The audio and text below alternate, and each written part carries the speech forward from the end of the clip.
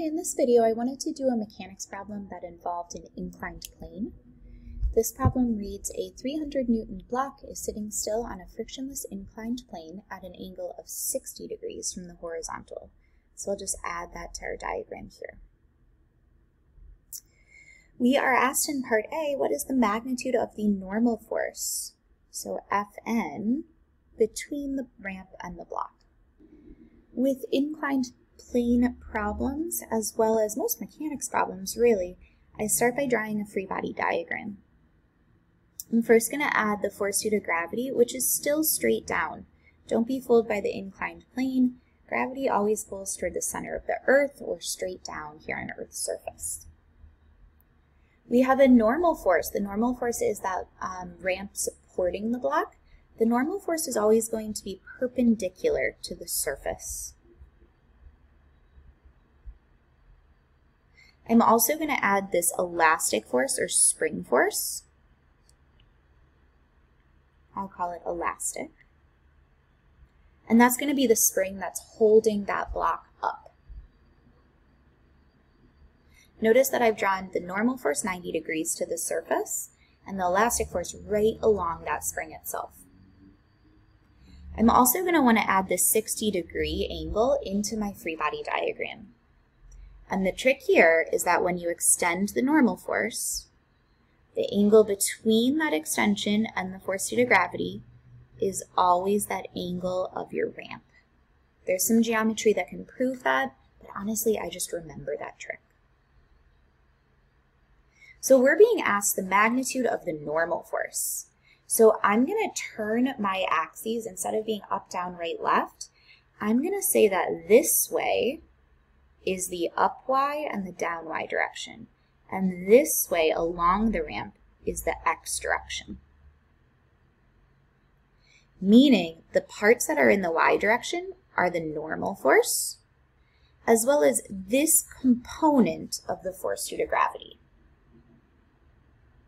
So I'm going to write out my sum of the forces in the y direction, the normal force up and part of the force due to gravity, I'm going to have to figure out what that part is. So I'll make sure to draw those components in. Here's my right angle. And I'm looking for this blue highlighted side right there. I'm noticing that this highlighted sign would be the cosine of 60 degrees. If you're not quite sure where I came up with that, let me show you my work if I want to find this side right here, if I do cosine of 60 degrees, I'm looking at the adjacent over the hypotenuse.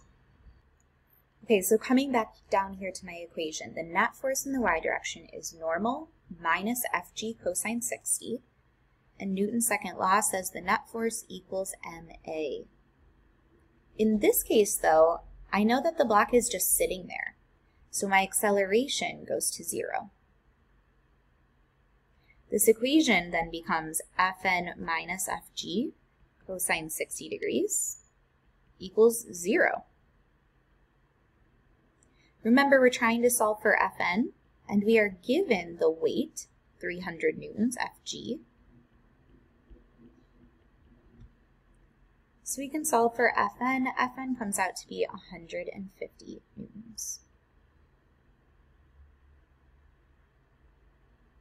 In part B, we're asked to find the magnitude of the spring or the elastic force. So this is going to require us looking at the y direction, or sorry, the x direction. I see the elastic force up the ramp, and I see a component of the gravitational force down the ramp.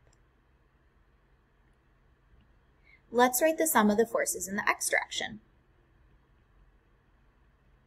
We have the elastic force up the ramp minus Fg sine 60 degrees down the ramp. If you're confused where that sine 60 degrees comes from, sine 60 degrees, sine is opposite over hypotenuse. And Newton's second law says I can set that equal to ma. Again, acceleration is zero because we are at rest. Looking for that elastic force,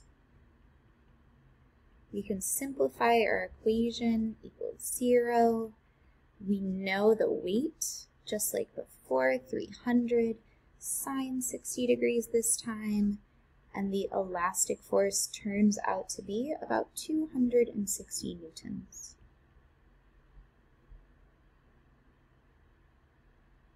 And the last part of this problem says the spring is stretched 20 centimeters. Calculate the spring constant K. This is referring to Hooke's law, F equals negative K delta X, or K is equal to F over delta x. Notice that I've dropped that negative sign. That negative is just a reminder of directions. That force is always opposite of the stretch. The elastic force that we just found in part B, 260, and the stretch of 20 centimeters, or 0.20 meters. This turns out to be a K of 3, oh, 1300 newtons per meter. And those are the standard units of K. This problem again focused on a ramp. We started by doing our free body diagram, remembering that we needed to tilt our axes and split up the force due to gravity into components. We then used the sum of the forces equals ma in both directions to solve for unknowns and part C was a little reminder of Hooke's law.